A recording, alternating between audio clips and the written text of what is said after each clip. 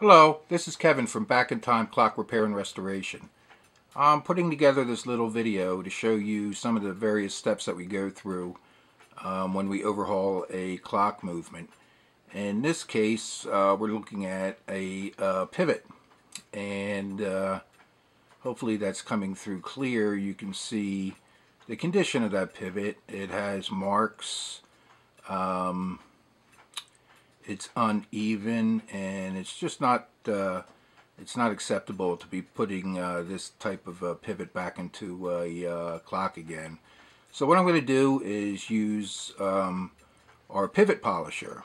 What we have is a Roly Rollimat pivot polisher and I would have to say the majority of folks that uh, are in the business do not use this pivot polisher um, only because of the cost. Uh, it's roughly $3,000 and all it does is just polish pivots like you're looking at here.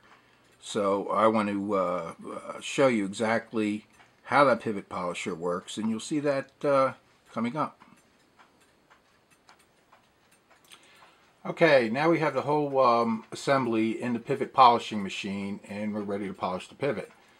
And what we have to do is turn it on.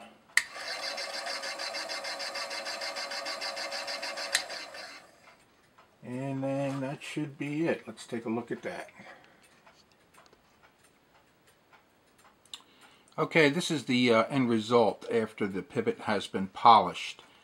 Um, you can see it's it's an absolutely perfect uh, shape and uh, that's just the way it came out of the factory. It's, it's perfectly smooth, round, and it's ready to be put back in the clock. And again, this is just one of the many steps that we take when overhauling a clock movement.